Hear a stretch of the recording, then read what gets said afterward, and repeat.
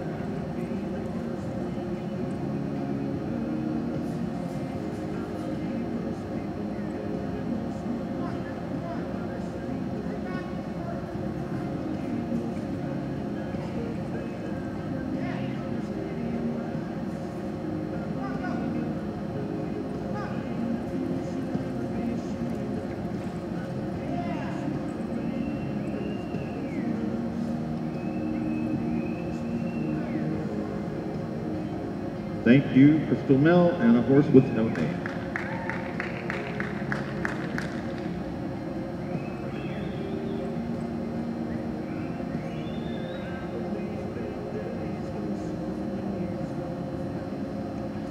Our next horse of the pen is draw 21, entry